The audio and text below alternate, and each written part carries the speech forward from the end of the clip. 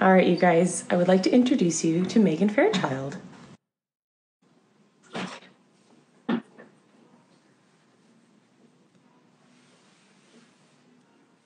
Just waiting for it to connect. Ah! Hey! Hey!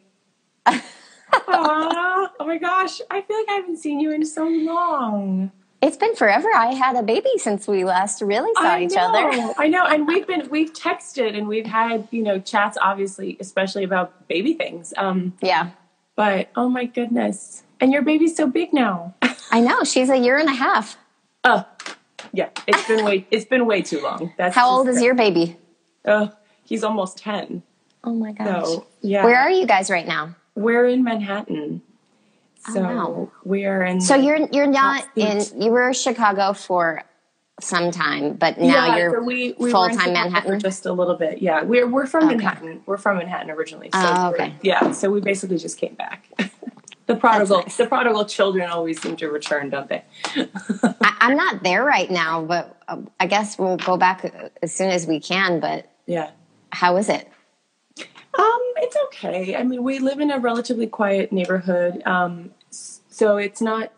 It sort of seems like business as usual, sort of outside. Mm-hmm. Um, there's obviously a lot less noise than there is, even though there's generally low noise. Um, Food is okay. You can get to the grocery store. Well, so my I decided that we were all going to stay inside. My mother is older, and and I have exercise induced asthma, which for for a long time I thought was going to be kind of a risk. Um, I just saw an article yesterday though that perhaps it's not. So Oh, that's great. so we'll see. Yeah. So we've been inside for a month now um, without going outside except for to throw the trash. So you haven't been even to the grocery store. No. Good for you guys.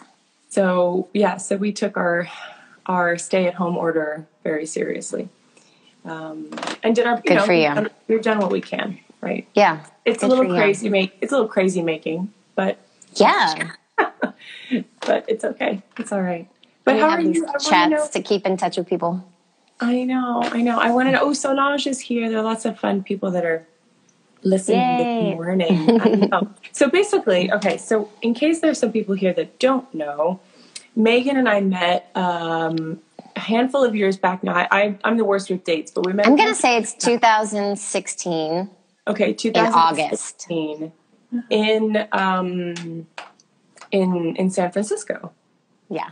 and we were doing on the town with Michael Tilson Thomas with the San Francisco Symphony, and it was well, it was you and the entire Broadway crew that you had performed with Right. uh, in New York. Plus on, you. on on the town, and then it was plus me, right? So it was just funny.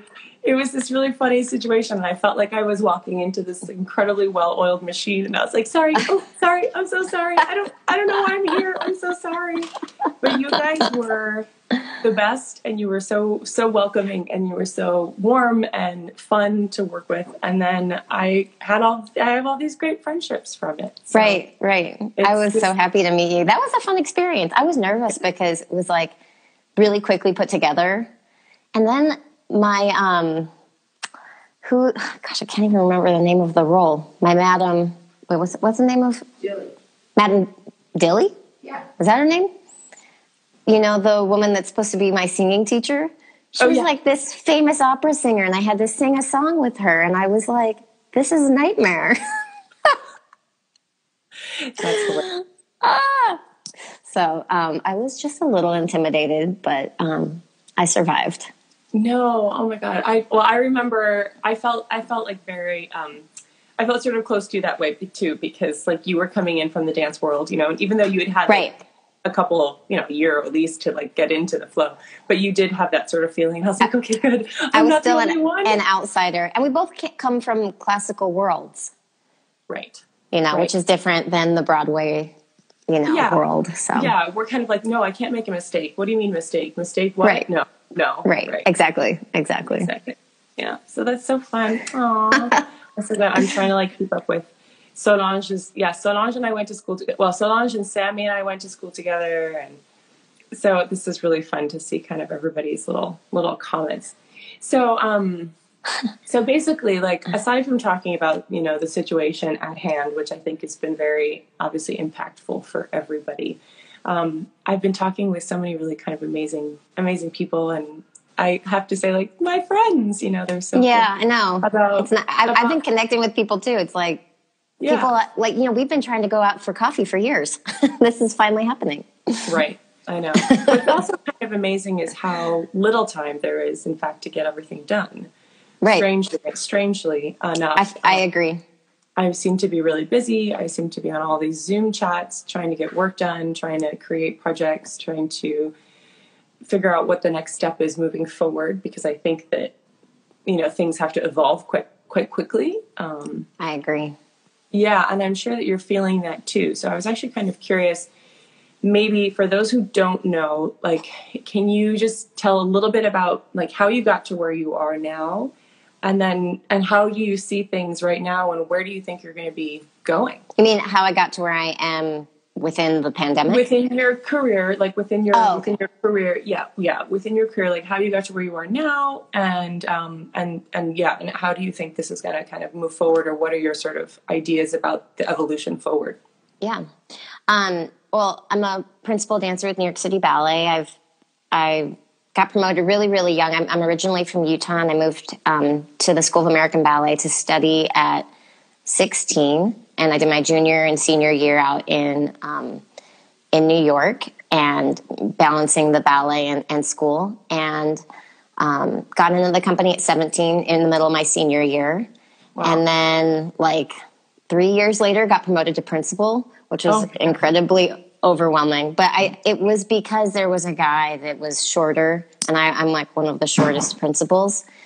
Um, and he needed a partner, and he was really like he was like 28 and ready to go. So I kind of like had to rise to the occasion. So um, that was you know now 15 years ago, and um, uh, I after I just had a baby and and came back and had a a really great year of performing, and it was really great to be back. Um, and suddenly, I found myself busier than ever. And I'm going to business school, and I have a baby, and then somehow I'm dancing more than I ever danced, even before I had a baby. So I think that's kind of ironic. I didn't expect that to happen, but I'm I'm happy to be busy. And then and then this happened, which at the time that it happened, I was ready for a little chill moment. I was really really tired.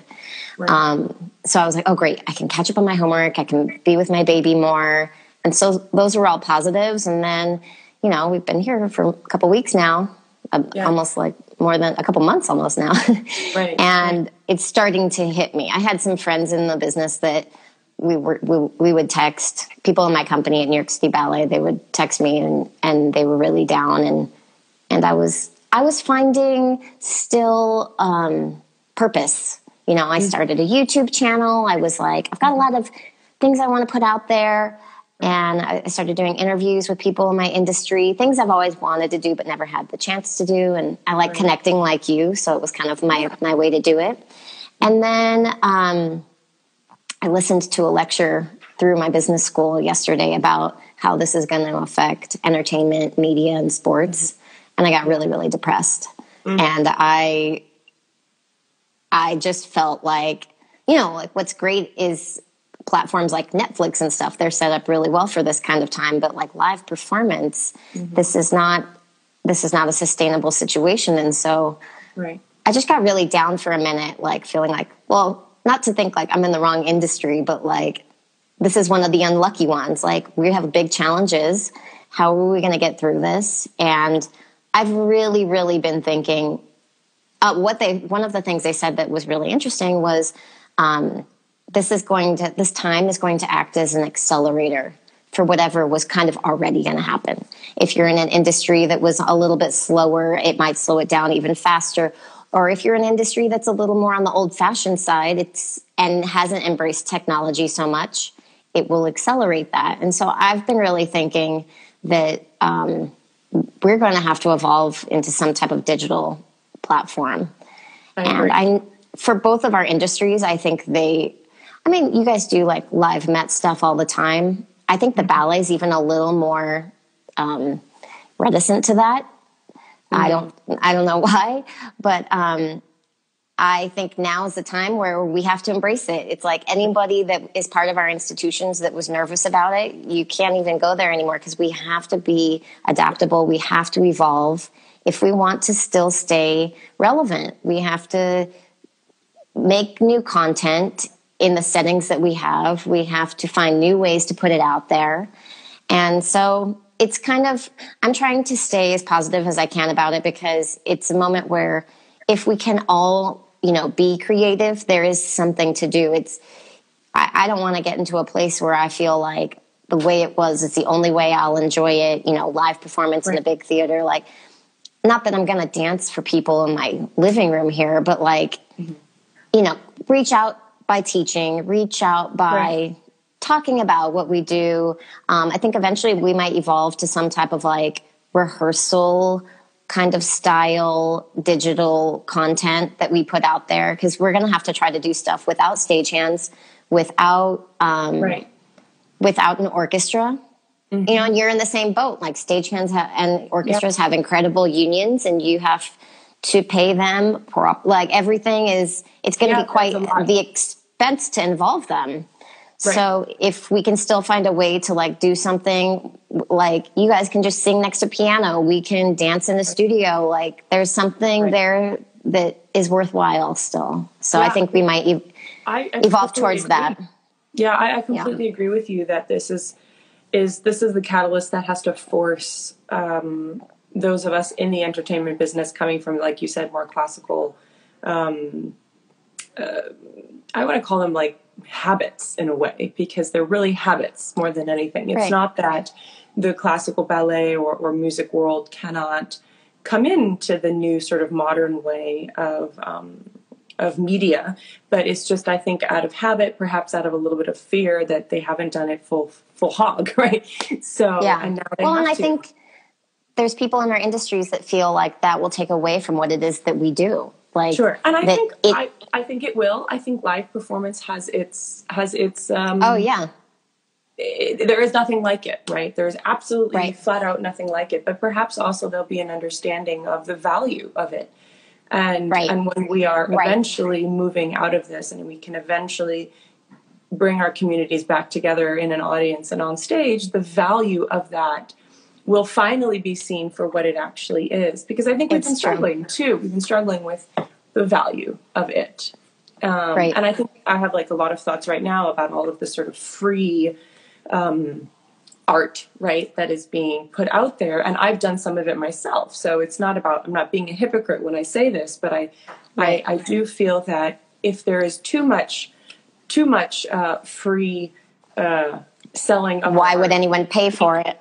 Right exactly that we in a way um, makes it makes it harder you know i think moving forward um, but it's very tricky because you know artists also are very much fulfilled and feel um, it helps their legitimately like their health to perform and to give to right. the audience their craft right. so it right. is a two-way street um, but in any way i think it's a super fascinating it's a very fascinating time it can be very emotionally up and down um, right yeah, yesterday I had a, my first really rough day because I'm kind of a person yeah. that just I'm realistic and I take each day and I'm like, what can I do today? And right. and yesterday, looking at the bigger picture in this lecture, it really hit me. Like, I mean, they had this quote from some bio, some something that yeah. he said that um, it would be you know really naive to think that like big sporting event type things would not return until fall 2021. Mm. And when I read that, I just was like, you know, and I'm even really jealous right now of like sports because they're mm. on TV. So like they can go in their little bubble and that's what they're thinking of doing with baseball, going into Arizona, everyone get tested and staying in a little bubble and like making right. you know, a baseball season and they can be on TV and, and we just don't have that um, type of platform yet. And and I really well, in my mind funding we don't have the funding for it. Either. Exactly. To, to get other, there. That's the biggest issue, I think, as it, well. It costs a lot of money to film all of, all of these yeah. things. Absolutely. Yeah, well, it would cost a lot of money to get all of us, you know, even if it were just SAP, for example, for all of you to go to one place to have to quarantine basically for two weeks first before anybody can right. do anything. So you're talking two weeks of nothing you zero gain essentially and then to start working and then you're also putting yourself in a situation in which you're you have to be there like you can't leave unless you want to come back and spend two weeks waiting again. Right like and if- like what about your family and Mhm, yeah, exactly. crazy. Exactly, I, exactly. yeah i i really i feel grateful that i'm working for a bigger classical company right now and i'm sure you do too. I feel bad for more regional ballet companies. I'm Mm-hmm. nervous for you know institutions that were, did not have a huge amount of like buffer going on as they went Right. into this and I, I know that that is the case for a lot of smaller ballet companies so i'm just hoping Yeah. that you know no one has to die out from this situation that we can all just hang in there and and somehow get to the other side so Right, absolutely. And I think what's interesting is, you know, you're in, like you said, you're in a great situation that you're with a large company. So the thing with the singers is that we are not connected to any companies. So we might have worked at the Met. right you're more have worked at the contractual yeah But we're contractual and we're we're independent contractors. So we are actually in a very so many are in such a serious situation and, and we've been I think part of the reason why there has been free content coming out of sort of a lot of our group has been to kind of inspire people to donate to like the AGMA Relief Fund or this Artistry Relief Fund um, because these are singers who are not and have not made a dime, I mean, including myself, since mid March and are most likely looking at nothing for. so The are you guys paid through 1099s through like a w2 because i know it's hard to file for unemployment if you're on 1099s Right, correct, because we're not employees. So, so you get 1099s from the met correct. Unless you are an employee, you get a 1099. So, i see and this is all the business side of things. But um, yeah so it is. It is really tricky. I many, many, many years ago, with uh, help of my accountants, who I am indebted to, to be totally honest, I started and I incorporated. Um, my brother did that too so yeah, so there is a like that much more safety there, but I it's not. It doesn't mean to say that I'm sitting here going, oh, I'm happy to have no work. Right Definitely not Right. happy, and definitely not okay. So I'm, you know, Right. teaching, and we're all we're all basically trying to do what we can. So that's Right. the other side of it. I don't want to necessarily like talk about myself a lot. it's so boring. um, but I did have more questions. I did have more questions for you. For you, if you were Okay. interested, I'm actually really, really curious. Absolutely. because I know, I just, I know how demanding it is as a dancer, and I know how many hours a day you guys dance, and it's so much. Like it's so much more than what we would be practicing, even, and we're all dealing with muscles. So on pre pre this pandemic, we're going to call it PP pre pandemic. How many hours a day? How many right? How many hours a day were you dancing? Um, we start company class every day at ten thirty, and it's an hour, which is actually kind of short for a ballet class. And then you can be rehearsed anywhere from like twelve until six o'clock. Um, and you find out the schedule two days before, and you're just kind of like see the schedule, and you go to the studios you need to go to. Some days you randomly have like five ballets you have to rehearse, and you're like, you know, you get you have to after every three hours you get an hour off. You get five minutes every hour, but um, basically that's enough time to run to the next rehearsal. Well, it's not enough time. Like I'm usually five minutes late Yeah. if I have to go to a different studio and then put on a different pair of pointe shoes because you can't keep wearing the same pair hour after hour. I change a pair every every hour. Like I, I cycle through like 10, 10 pairs at a time, but they have to be dry when you start a rehearsal. If they're sweaty and wet, like you just die and go over your pointe shoes. So, um, so yeah, I mean, sometimes I have just half an hour of rehearsal and sometimes I have like five. And then you might have the show at night. And that could go all the way till 11, depending Right. on which ballet you're in. So you're not dancing like, you know, two hours every night on stage. It's not like maybe Right. being in an op- opera where you're in and out for the entire length of the time. You might be in the first half hour ballet, you might be in the middle half hour ballet, or the last one. So, Uh-huh. um, and then if you're in the corps, you're in every ballet. So they're they are rehearsing all day long, and they are in the performance every night. So for them, this is a huge change. For me, my schedule was really more based on what do I need today to get done what I have coming up in performances. And so my mindset is really more training based. So I feel mm-hmm. like I can kind of transition well into this kind of scenario where I, I just choose what I need to do. Um, mm-hmm. I mean, obviously, I show up to the rehearsals I need to show up to, but like it's what I need. So I can show up and do like it's like today it needs to be more of a rest day. I'm exhausted or so so i'm very much like i've had to self maintain and self discipline my whole career as a principal um, because you're not really ever getting as much you know maybe you're getting too much rehearsal on the schedule maybe you're getting too little and so you have to like um, supplement mm. to take care of yourself so i feel like i'm really in tune with what i need right now i'm trying to do two things a day so like yesterday I taught a ballet class for the School of American Ballet and I couldn't see them on the screen. So oh. I just took it, I took it with them. Right. And so that was like an hour and 15 minutes of ballet in a small space. And then um, for the second thing, I chose to do a yoga class online.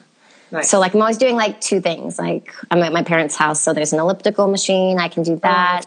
Oh, um, I have my Pilates teacher is doing um, you know zoom classes twice a week that like are the most painful things i've ever done so i feel i feel okay i've only put my pointe shoes on once in the last like you know five weeks um, wow. i only have two pa- two pairs here and they died down so i ordered some glue so i can make them last and wow. um, eventually i'll head back to new york where i'll i have more pointe shoes but um, you know if we're not going to dance for at least six months it's okay to be a little bit of a break out of the shoe and and I always take advantage of these moments to heal anything mm-hmm. so I'm like you know my feet are resting and breathing right now I'm still dancing but I don't go maybe always up onto pointe. so right. yeah so yeah it's so interesting because I guess my mind could have you know I could have thought of a bunch of different things but your the detail obviously is so fascinating and the pointe shoes I mean and the and and just um just the amount of time because I guess I always have this this image in my mind that you guys are just going, going, going all the time. Um, and so I was thinking, gosh, how do you how do you keep that up? Essentially, you know, like right now, like every athlete, you know, and and that's right. what you guys are. So, and there is that feeling of keeping it up, but also having a little bit of a break. And when do we know we'll come back? Because you know that month before everything opens up again. If it if it happens in such a way, it'll probably be more like a slow trickle. But right that there will be this unbelievable sense of like oh my god i gotta catch up if if we had all felt yeah. like we were not keeping up with ourselves right yeah i, I do feel i've had um, two moments in my career where i stepped away for a year mm-hmm. um, and not because of injury um, one was to do on the town and right. I, I didn't really do pointe work that year because to do pointe shoes and then wear heels at night and dance in the mm-hmm. heels I just felt was really dangerous for my my, my midfoot. Um, okay. So I chose to really like I barely put on my pointe shoes that year, and then as I came back to the ballet, I kind of trained like a student again. Like the the couple months leading up, I yeah. I attended I attended this the SAB summer course and I went I took a class a day in my pointe shoes before my Broadway show that night to really train to get back and and it worked out fine. And then I, I had a baby and I actually came back faster than I ever expected. And um, when I first put on my pointe, you know I stopped I probably stopped putting on my pointe shoes in July and then I put them back on again in January after I had my baby in November and I wore them around the house for a little bit just to get the bones right. and the skin used to it and then I put them on and it was rocky but once you really get going, it's like a month later and you're okay. So I'm not super afraid to take yeah. some space. Um, but I yeah. also know, you know, you got to do some stuff every day. So I'm, I'm doing right. that. Choose two exercise things a day. That's kind of where I'm at right now. That's so great. I love. I mean, I'm I'm I'm loving listening to how disciplined you are. I mean, it's no surprise, and I'm sure you know. I know that dancers also have to have like a very a, a, a serious discipline. I mean, we all do, um, but it's so neat to hear your your process. Um, Are you um, singing every day? What is going on with you? I'm not singing every day, but I wouldn't have sung every day beforehand either. Okay. Um, okay. I'm a big like you. I'm a big like, hey, let's take a break. yeah.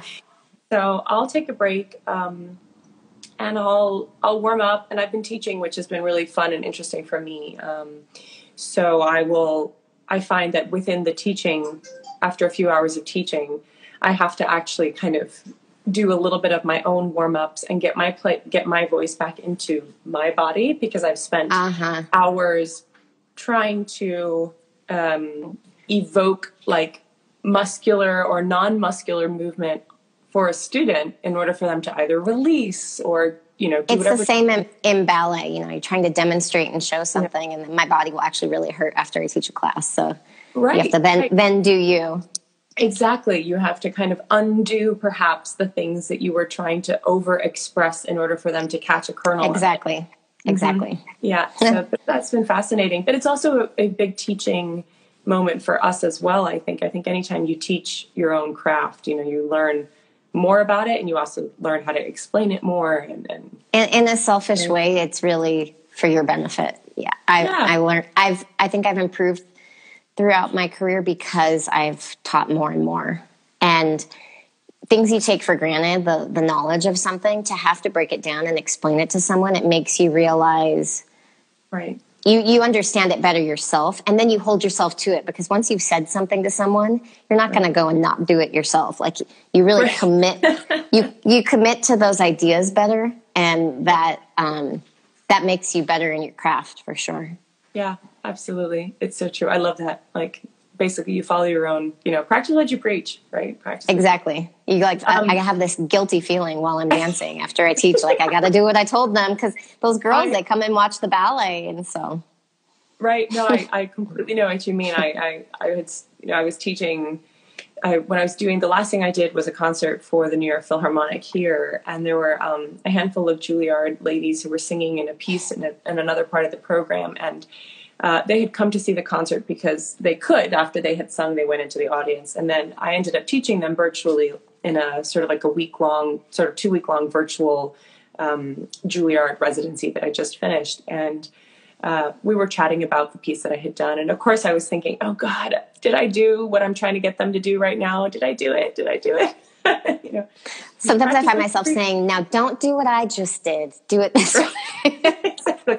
Don't do what I just did. Do what I'm trying to get you to do. yeah. I know. I know that feeling. So there was a question from Fernanda Guzman who asked if you had any role models growing up. Or do you obviously still still do, or what were who are the dancers, or or it doesn't even have to be dancers, obviously, but Yeah. who were the people that you um, know, Um, admired, looked looked up to? when I was growing up, I I grew up in Utah, so I really looked up to the principal dancers at Ballet West. Um, and I didn't know anything about New York City Ballet or any bigger things. Like I really am not didn't grow up like idolizing Darci Kistler and all of these big names like everybody Right. um, knew about. I was very like just like all about my hometown and and knowing about them. And then I came out to New York and realized I didn't know anything. And um, and and then when I got into the company, I found myself um, really looking up to the dancers that were not only you know they were principals in the company and and beautiful amazing dancers with so many wonderful qualities but the reason i admired them is because of their personalities and the way they conducted themselves as human beings um, throughout the day um, in rehearsal out of rehearsal how they treated people um, that was seemed to be what m- made me feel like um, most inspired. I, I wasn't like, wow, look at that dancing. I, I want I felt like anytime I could look up to someone that still was a, a good human and didn't let the art take over them and you know you know you we've all seen people be divas and Sure. have their moments in rehearsal where something's not going well and they kind of like have this intense moment and, and everyone kind of like you know Right. um, I was really turned off by that, and I I really looked up to the people that could deal with the stress in a graceful way. So that's that's kind of who I ended up looking up to. So for me, it was Jenny Ringer, who now teaches at a pre-professional school in Southern California called the Colburn, and um, and then Yvonne Borree. They were both principals with New York City Ballet when I was there, and and they kind of took me under their wing, and they and they said to me, they were like, "We can tell you have a good head on your shoulders, and stick with us." And, and I felt like we had a little group of sanity, and I I needed yeah. that. I I it was important to me whenever I saw like a ballet ballerina, like on a gig, if we were together, eat a normal meal, someone that I thought looked so extreme and I was like, oh my mm-hmm. gosh, they must have like no life and like they just dance all day long and don't eat anything. And then I would see them eat like a bacon, egg, and cheese. I was like, wow. so, like, as I got older, seeing people just be regular, that was that was the inspiring thing to me. I, I liked f- knowing and feeling that you know we're still normal and that otherwise it's not sustainable but from really far away it kind of looks like such an intense lifestyle and that made me really nervous Sure. So well, I, I grasped on to the. Yeah, it absolutely. It looks, like, like that, right? It does. Well, and it does. That's why it's so fascinating for me to talk to you and to really get the kind of nitty gritty about it. And I'm sure that everybody's experience, you know, is going to be different. Like, you know, I, I only have like a very small, you know, group of dancer friends, like between you and now I know Adrian Clay and, and Guillaume Cote, and I, I, I'm not um, close with Sarah, but I met her recently, and she's also really fantastic. Oh, that's right. And I know you guys are and I know you guys are really close. So um, yeah, so yeah, again, we're like, funny because uh, we uh, have com- completely different approaches. She is really like, um, you know, I think very, most of the people I know are, are normal normal eaters, but in terms of like, I need to get into a studio and I need to work. She is like ten times different than I am. Like she she's not taking a break right now. She is like I'm I'm I'm still working hard. So I can, I can imagine. I mean, I I obviously because I you know because I know you and when we when you had your baby we were talking a lot about that and and to anybody who's curious um, Megan is the one that introduced me to her physical therapist because oh. I in our conversations remember and I was talking about the diastasis recti the sort of separation of the abdominal muscles after pregnancy how I had said I really think that I still have this 8 years later and so I it? went to it's it's better it's better yeah it's do you have, do you have the close, brace it's better I do. Did you get the I brace? Do. I know. I just I just bought a new one because yeah. I got I got rid of mine. It was so overly worn and the Velcro wasn't like attaching anymore. And I thought, oh, I can do without it. I think I'm in this place. I don't need it anymore. And um, I think I do. I really I like the way it pulls you together and cues your body. Um, and I I, well, and I like the, the exercises it's a cue, right? It, it's it's it becomes it becomes after that, just in case you've been gone for two weeks, you know, or something, you get back into it or something. But like we were saying, how does so that like, help your singing? So for me, what I've noticed, um, because the muscles did not come back together completely. So this is this is something that happens, right? For anybody who doesn't know, like in pregnancy, right, the baby stretches those front the muscles, and you're going to know more about the anatomy than I am because that's what you do, right? But so you could probably explain it better than me, right? But the basically the abdominals in the front, like that that midsection, right up and down, passing the belly button, basically opens and and stretches. And a lot of it's almost like a hernia.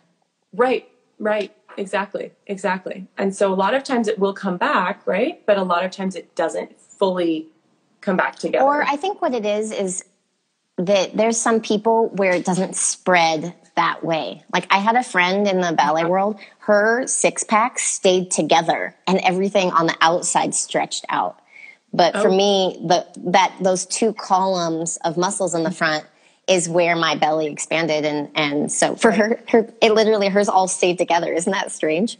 so she didn't yeah she didn't have a problem with it so i think for everybody is it's different but if you do have that separation of those muscles you have to work to get it back. And what I found really um, uh, to me was that, right. uh, the idea of like the mommy pooch doesn't have to exist. It's like I think people see someone that's that have had that's had a baby and they think um, their body will never be the same, and it they've they've lost weight and they've gotten back into their regular shape. But the fact is that the muscles have not repaired themselves. And so if you do these exercises and you brace your, your stomach and you work the transverse abdominals, which they go from, it's like the height of your belly button and it's from your spine wrapping all the way to the front of the belly button. And that's what these exercises trigger. Um, to get the two columns of front abdominal muscles closer and closer together. And right. and I just feel like, wow, if more people knew that that's the thing that makes your body look different after having a baby and that it's pretty fixable, I, I, I think that's a you know really empowering thing for people to have that knowledge because it's nice yeah. to feel like you you get to look like you always did. Yeah, absolutely. Or at least, and also not to mention just the ricochet, kind of like the domino effect of having muscles that aren't totally functioning the way they should, especially in your abdomen, right? Because that ultimately right. protects your back. It right. protect, you know, and then it continues the domino effect throughout the rest of your system, right? No, for me, for singing, it was very interesting. And I actually now, even if I don't put the brace on, I'll put a, a scarf around my waist and I'll tighten it. And I've done my own sort of version of it at this point where I basically tighten it and I just tie it. So I have my hands free. Um, and I do the first like 30 minutes of my warm ups kind of in that sort of place. Yeah, just with that little cue. Yeah, just to keep on reminding me, just keep it's like basically keep that engagement at all times because I yeah. learned how to I learned how to sing from a dancer's core because I had danced all up through when oh, I got to Juilliard and was Which is the wrong way to sing, right? right. So through all of that, I had to learn how to actually relax my my stomach muscles, basically, yeah. a little, a little bit, right, yeah. so that I wasn't shallow breathing. Yeah. So it was this whole process, and then I had a baby, and it was all like. I was like, okay, now I clearly don't know how to breathe at all. yeah. But um, but I did want to. That's the other thing about you. pregnancy. Um, yeah. You learn how to breathe properly because when your belly's so big, you have to. Um, I learned to, uh, in order to also protect those stomach muscles um, that anytime you do any effort, like when you're pregnant, effort is like standing up from the couch. Right. That you exhale with the effort, and right. I really um, I'm thinking. I really started to, yeah, started to connect my my breathing to my movement in a way that I never mm-hmm. understood before, and I thought that was really valuable. Well, and I'm sure it just also continued to inform within your dancing because you're going to make motions that you would have breathed through anyway, but it has even more of a functional effect, perhaps, to it. Yes. Right? Like, yeah. Yeah. Yeah. Oh, I love that. That's so fascinating. I'm, the next time I do anything with singing, I'm like, oh wait, but I need to inhale because I have a phrase coming. No, exhale. exhale. Yeah. I'm gonna start. I'm gonna start getting all crazy about it. like, no, let's exhale. My stomach needs the support. Um, it's so funny. So you did mention food before, which uh, is has always been a subject of conversation for me because I love food.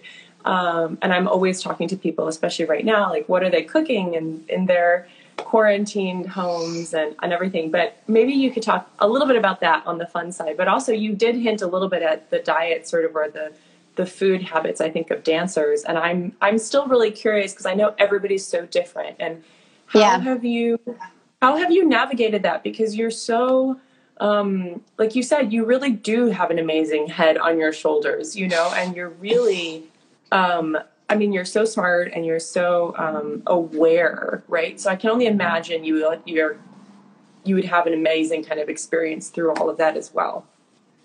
I think when I was, you know, new in the company, it was this thing where you're learning how much of a normal human being you get to be and still be a professional ballet dancer. And so I remember at first even being afraid to tell people like I went and hung out with friends. Like that was like uh-huh. something that was, you know, that could have been taxing on my body. And like I remember hearing people in PT complain about something and feeling like there would be judgment on any extracurricular activities they had done that might have caused their body to be oh. you know like like your whole day it's not just your eating it's your whole day of movement is is now dictated by trying to be healthy for the ballet. And, and when you're really, really, um, you know, young, you're like feeling like you're not allowed to be yeah. a human being.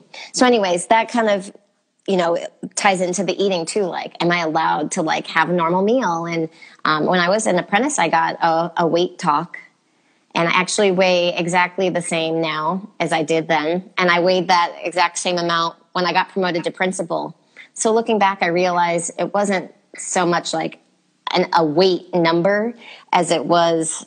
Well, first of all, you get in the company, going through puberty, and everybody's bodies are like weirdly swollen and they see you in a leotard and tights every day and they have this thing they want to make sure that you know the standard that you have to keep to stay competitive um, right.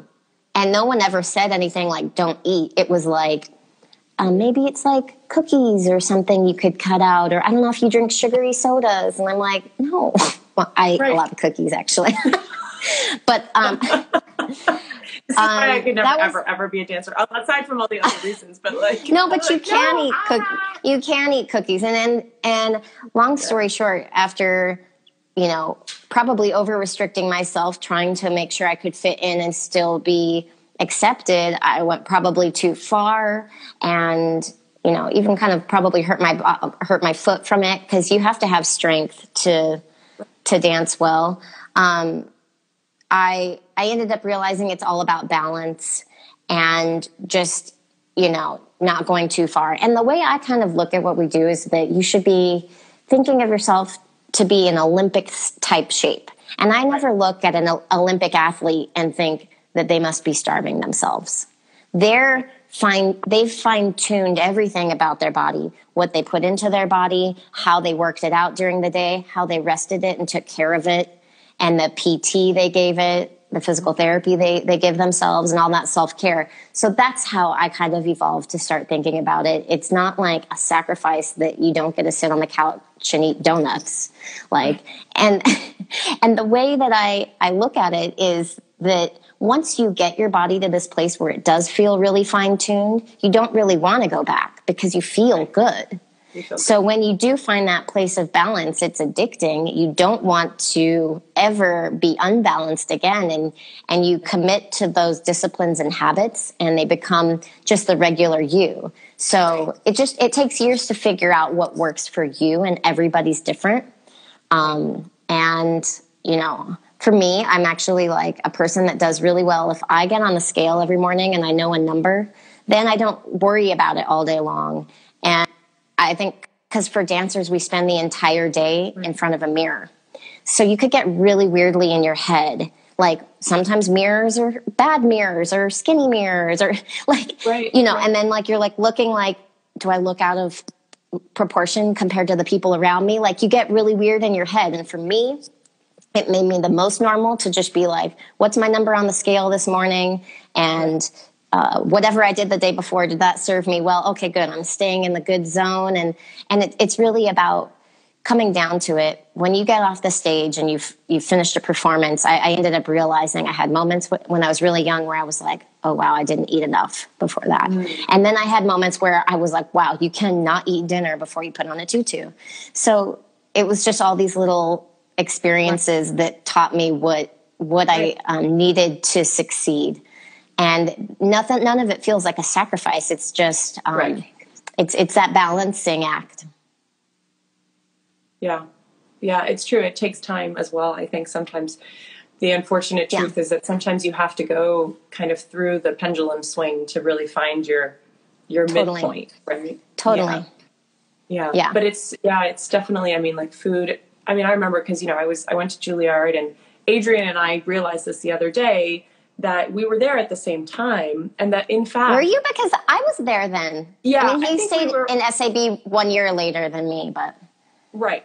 I think we were all there around the same time. And what's crazy is i remember seeing like if i go back into like the filofax of my memories i feel like i remember seeing a young adrian walking the halls you know because we would all share kind of that downstairs area and then the cafeteria yeah. of course right where yeah you know, we would always be we would always be watching like what are the dancers eating like and because we would also feel like in the cafeteria at the time we're like what could they possibly eat here that is also healthy for them you know so but you know in the in the same breath you you need fuel and that's the thing is that right. if you went out to dinner with a bunch of dancers after they did a show i think you would people would be shocked at how much we eat like it's more about the timing of when we eat it you know, it's right. that makes it's sense. that makes sense. You you have to be very calculated the day so that you constantly have energy, but you're not too overly, you know, like weighed down. Like,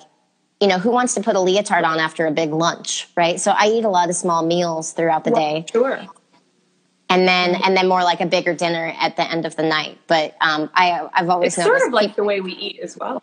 yeah, I, I've noticed that people are surprised at how much dancers do eat. But I mean, we're dancing all day long, so It's a lot. I mean, you do, and you do have to eat. So that's why I'm you always. you kinda have to like, refuel Yeah, you know, because the next day you're back at it and you have to push your body again and expect Right. it to give great output. But um, in terms of what I'm cooking right now, Oh, um, yeah. we do we do blue aprons. Um, Oh, okay.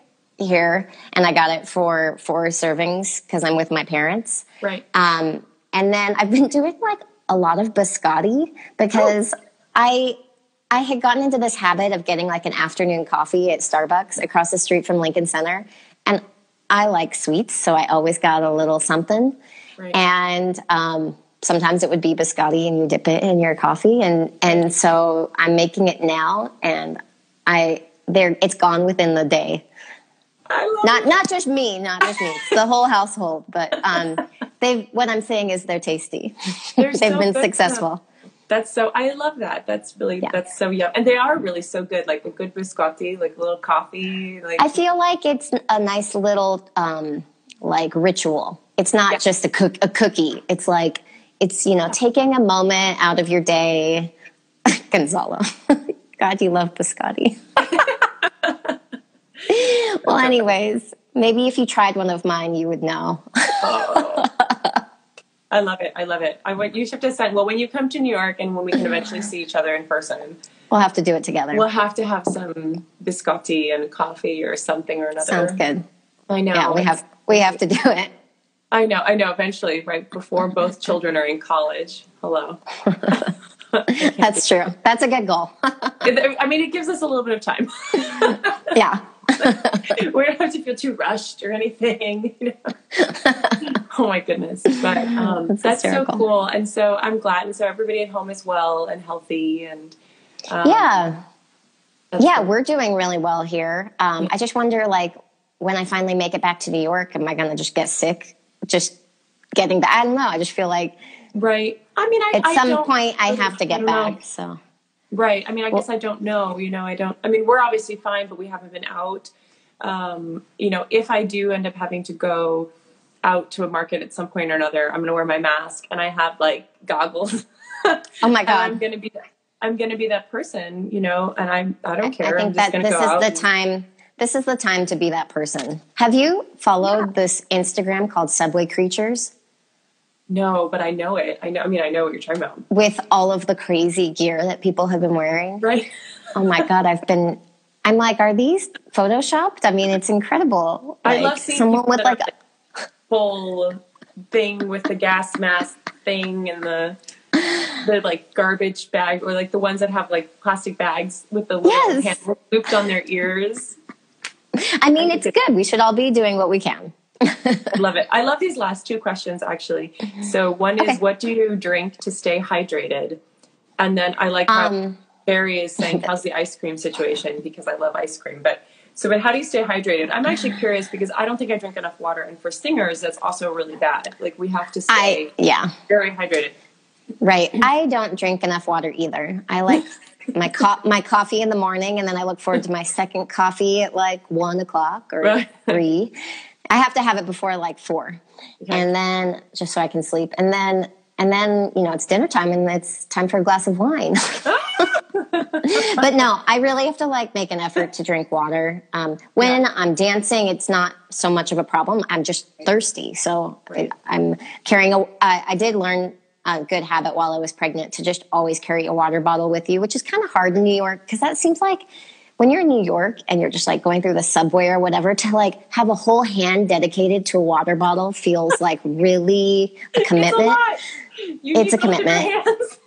or even sometimes in the middle of the season i'm like i don't if i have a bag like to put the weight of water in it i'm like that is going to hurt my back and i don't want my back to get tired today Right. because i have a show tonight or something so um, that's how i think of water more so i i like always like trying to think how do i have to not carry this somewhere Yeah. yeah. but um but no, we're supposed to drink a lot of water as dancers. I'm always trying to get something that has um, sodium in it, like electrolytes, not Right. just potassium and magnesium, but for me, sodium because I have really low blood pressure. And I think a- athletes tend towards really low blood pressure. The more you exercise, the lower your blood pressure is. But hereditarily, I have low blood pressure. So Also, right. I, get, I can get lightheaded very easily if I stand up quickly or something, or even like I've been like, I just do a port de bras back at, at a ballet barre and I can Right. get lightheaded.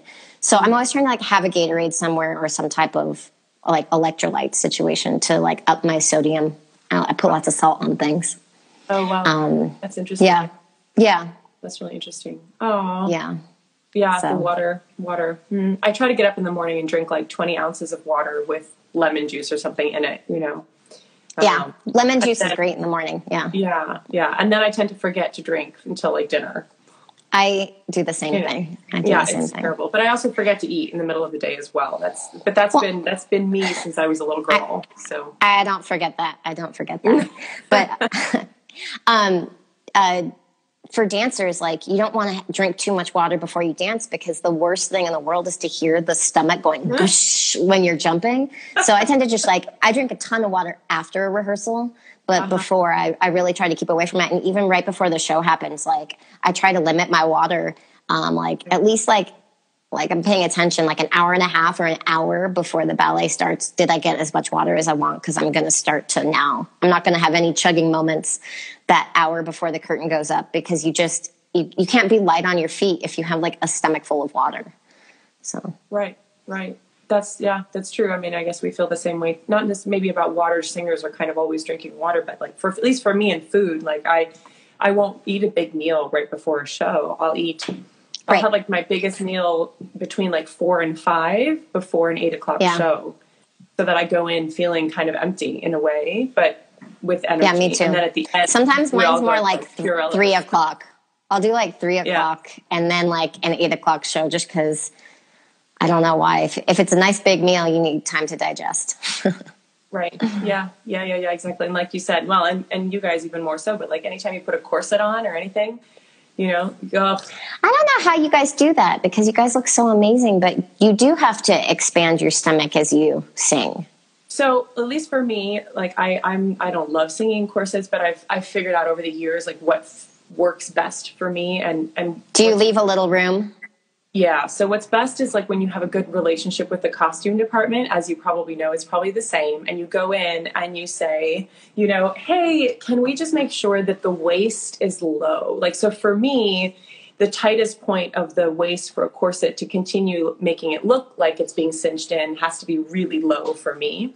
And then you Uh-huh. can really cinch it in and it won't bother Because you don't like that's that's for dancers too. I can't have that waistband anywhere on a rib cage. No. Like it has to be nice and low, and and sometimes Yeah. even the psoas muscle, if the waist is too tight, it'll kick on my psoas muscle in my back, and I feel like my back get would used to get kind of spasmy. So yeah, Yeah. these are funny little things. it's funny because it's exactly the same for me. So, and also I'll say to the costume department, I was like, can we just make sure? So, like in a place like the Met where they're so fantastic, they know already. They have me, like, I come into the costume department, they're like, you're wearing a corset. And I'll be like, oh boy. And they're like, we know you like a long waist. We know, like, we, we got you.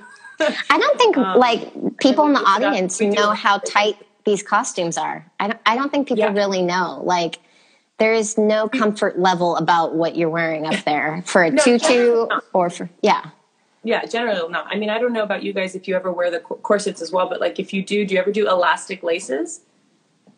Um, we're not really wearing corsets so much. I think that's more like in Russian tutus. They're having Uh-huh. like elastic stuff like that. Right. But um, our stuff is incredibly stiff. It's Mm. really hard to do arabesque at first. It's really mm. shocking. Like it's not a simple situation. Like you put your costume on, and if it's a brand new costume, you're you're begging the people to put you into a you know into into rehearsal with the costume because you have to have the Right. costume on the rehearsal schedule to get it to Wow. break it in and i need like a couple times in the costume of sweating in it for it Right, to kind yeah, of mold, mold to my body but it's like heavy drape material Right. and it, there's nothing thin about the bodice of a tutu so it's really Right. kind of it seems backwards but that's what it is Yeah, well, and it's funny. So a lot of people don't don't even know, right? But um, that's so, Right. that's so fascinating. Ah, I could talk to you forever about this stuff. It's, I know. It's so fascinating. All right, well, I know you also have your baby, and you need to get back to your family and all these things. And I'm so thankful. I'm so thankful for you to chat with me today. Also, This has been fun. selfish. I get to see you and talk about the things that we probably never would have talked about. Really, you know, It's true. you know. It's true. When you know that the audience is listening, you, you have a, a more intellectual conversation. I love it. I love it. Please, please stay safe. And You too. All my love to you and to everybody. And when you get back into New York, let me know, and at least we can text from a closer distance. So- or in the same time zone. That'll be better. or in the same time zone. I know, so we can both wake up at eleven and be like, oh. So, Sounds good. Stay safe. Enjoy your boy. thank you. You too. Aw, I love Megan. She's the best. So interesting. Ah, I could talk about all of those things forever. It's I find them fascinating. Thank you again, everybody, for tuning in. I'm really enjoying these chats, um, and I think that they're they're just so interesting. They're just so fascinating. So I have a couple. I have some really fun ones coming up this week. I think I'm actually going to have two in a row, Tuesday and Wednesday. Um, and I will let you know. I will try to uh, post about them soon, if not today, uh, then tomorrow. And um, and yeah, and I'm going to also try to start posting them on YouTube, so that if you miss the chat, you can go back and watch it again. So there's that. I'm trying to get more tech savvy. it's taken like a month. Um, so anyway, please stay safe, everybody. Be well. Uh, stay healthy. Wash your hands, and uh, and I will see you all very very soon. So sending all my love, and uh, see you later. Bye.